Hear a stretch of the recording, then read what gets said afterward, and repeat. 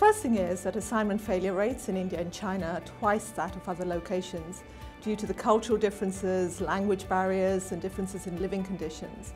So assignees and their families may find it really difficult to adapt to the weather, the food, the crowded cities, possible pollution and also the unfamiliar cultural expectations that impact both their professional and personal lives. Second thing is, India is an enormous country with a huge diversity of language, religion, food and cultural norms.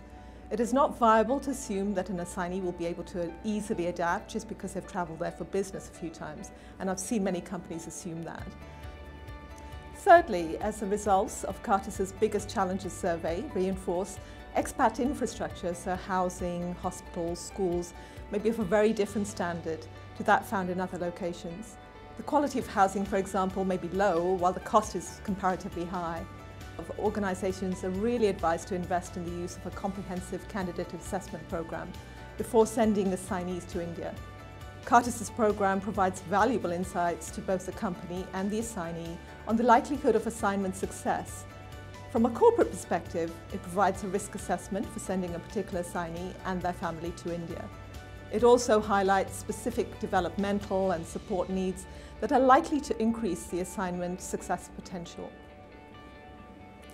From the assignee and family perspective, it enables them to explore their expectations for the assignment and whether these are actually realistic or not. It also assesses their motivations for accepting the assignment in the first place and provides them with critical tools for ensuring that they face the assignment with the right knowledge and also the right attitude, which is really important. Assignees would highly benefit from a customised cross-cultural training programme for them and their families. This programme would ensure that the whole family is prepared for the India experience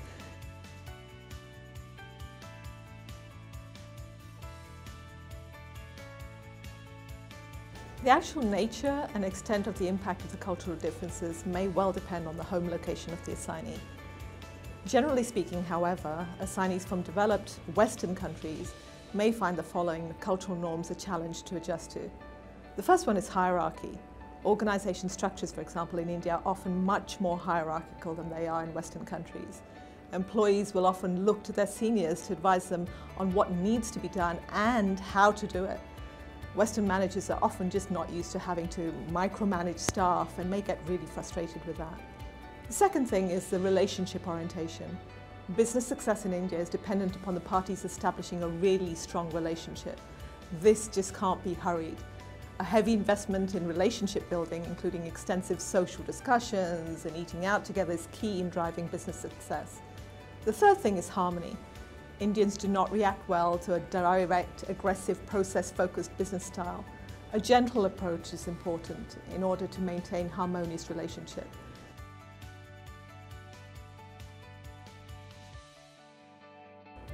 There are a number of attributes that companies should be looking for Uh, when looking for candidates for India. The first one is assignees and their families should have demonstrated an ability to thrive in an environment of absolute ambiguity. Those who are highly structured or very process orientated find India's sort of chaos totally frustrating. I say apparent because India has a beat of its own. Things work well, but in a way and in their own time. A successful assignee is the one who is actually willing to spend time developing relationship, has great communication skills, and who's able to work with IST, which is India's stretchable time. Families who are likely to be successful are often motivated by the fact that they want a totally different experience to that that they've had in their home location. They're likely to be curious and like to try new food and travel and are inquisitive of new places rather than just being judgmental.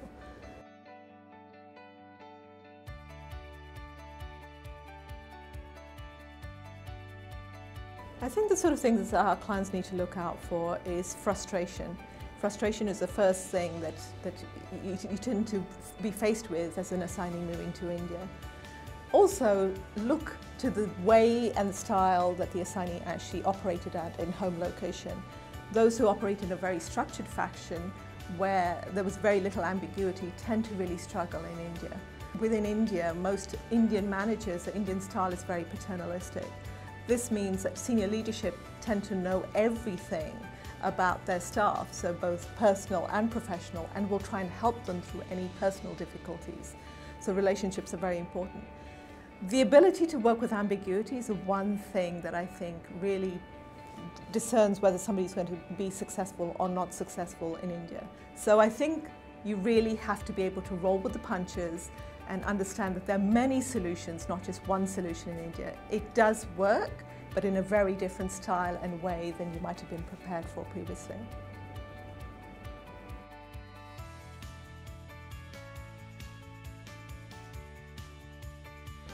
My final words of advice would be India does offer a tremendous opportunity for growth to the discerning corporate and the assignee alike. It has an incredible energy, it's mixed with top talent and a high level of entrepreneurship. But companies do need to ensure that they're sending the right candidates, that they set realistic expectations, they focus equally on the family, and that they provide stellar support to the whole family unit. Cross-cultural training, language training, tenancy support, these are very important. Those who are successful often love India and never ever want to leave.